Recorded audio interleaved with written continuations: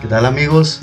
Pues es cierto que para muchos este año 2020, el año 2020 fue un año muy complicado, muy difícil en diferentes situaciones y más si se tuvo la pérdida de un ser querido, pero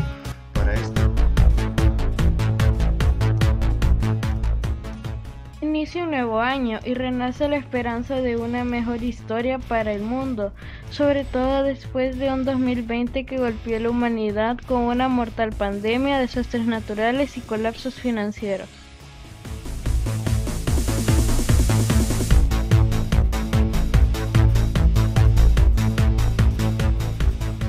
La humanidad sacó lo mejor de sí, uniéndose en común y mostrando el mejor rostro a la adversidad, con profunda fe y esperanza en un deslumbrante porvenir.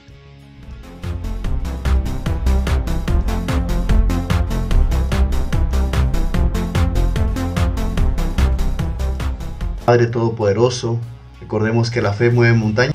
Le pido a Dios para cada uno de nosotros, para toda la humanidad, que sea un año venturoso, que sea un año próspero, de mucha paz, de mucho amor, de mucha felicidad para cada uno de ustedes y para toda su familia desde la familia Guatemetis.